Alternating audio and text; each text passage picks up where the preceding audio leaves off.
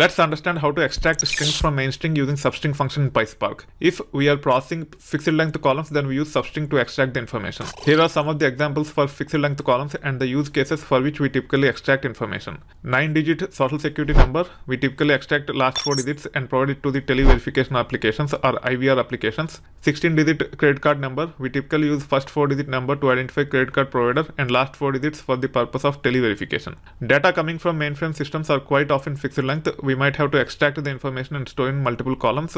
Even in those scenarios, we can uh, effectively use substring to extract the information we are looking from from the data that is generated by mainframes related applications. Substring function takes three arguments, column, position, and length. We can also provide position from the end by passing negative value. Let's get into the details so that you understand how the syntax look like. First, I am creating an object by name spark after spark session. Let me run this uh, code so that the spark uh, session object is created. Uh, before getting into creating the data frames, let's uh, explore uh, the traditional way of extracting substrings from the main string using Python as programming language. In this case, I am creating a variable by name yes. It is of type string and it contains hello world. I can extract first five characters from the string using this syntax. I just have to say yes in square brackets colon 5 or 0 colon 5. Uh, we don't need to explicitly specify 0 if we are trying to extract the information from the beginning. It will give hello for us then we can actually extract uh, three characters starting from second character till fourth character using this notation. The first argument is nothing but index and the index starts with 0 which means uh, in this case we are trying to extract information from E which is nothing but second character in our string. And then column 4 means uh, it is nothing but the substring which you want to consider. In this case I am trying to extract from the second character till the end of this substring you can run this and you should be able to see the three characters here which are nothing but these three. So one column four means uh, starting from second character up to the fourth character from the beginning. That's how we should be able to extract the information we are looking for from the main string using python as programming language. Now let's create the data frame using this list with uh, schema as dummy and string. So we have created a data frame with one column. The column name is dummy. It contains only one record. That is nothing but x. We can use substring function to extract substring from main string using PySpark and hence let's import substring. I'm also importing lit.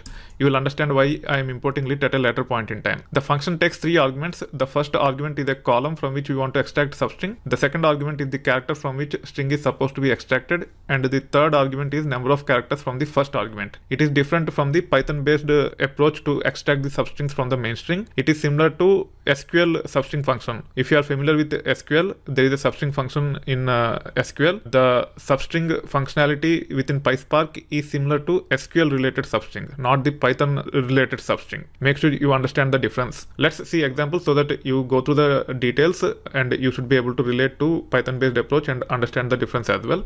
In this case, I'm actually using hello world as it is literal as I want to convert into a column so that uh, I can use it uh, with a substring. I'm actually using lit function here and passing uh, hello world to it. It will actually convert uh, it as a traditional uh, data frame column and then I'm using substring on top of it. Then I'm saying 7 comma 5 so it will actually start from 7th character which is nothing but W and I'm trying to get 5 characters from the 7th character and hence we should be seeing world when we run this piece of code. Let's run this and we should be able to see the output here. You can see world as output. You can see here.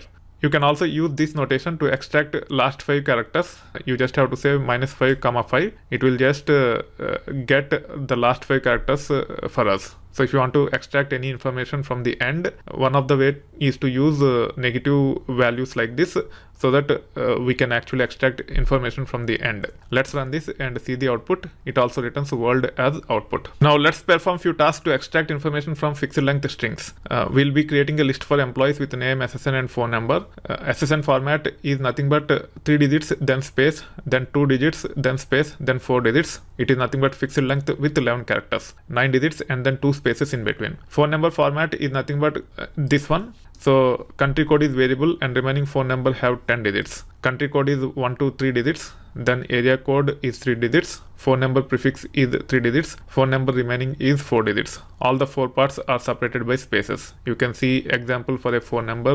This is uh, with respect to Indian number. This is with respect to US number. You can see that country code is variable. We'll create a data frame with column names uh, name ssn and phone number using uh, uh, this uh, data. And then we'll extract last four digits from the phone number and also we'll extract last four digits from ssn we have additional fields as well on top of uh, the fields which we are interested in. We will only select those which we are interested in while uh, applying substring on top of phone number and ssn let me create this list and then data frame by running these two pieces of codes uh, you can see that data frame is created.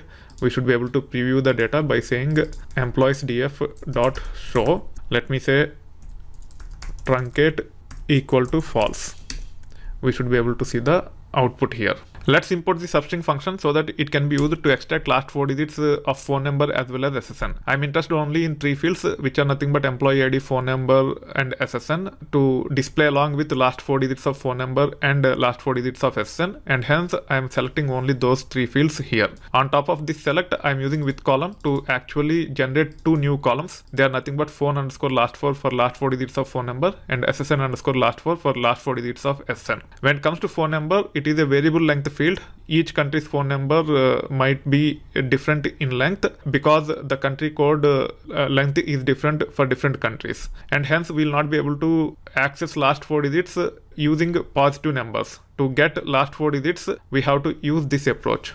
We have to say substring of col of phone number comma minus 4 which means starting from fourth character from the end we are trying to get four characters and hence I'm saying four here. As last four digits of phone number is of type integer, we should be able to convert the data type using cast function on top of this uh, substring like this. So in this case, the derived value will be of type integer. Similar to this, because SSN is a fixed length string, either we can uh, access last four digits either from the end or from the beginning. In this case, I'm using from the beginning. Even last four digits of SSN are of type integer and hence I'm casting it to integer using cast function. Let's run this to see the output. In this case, I have to import col function as well.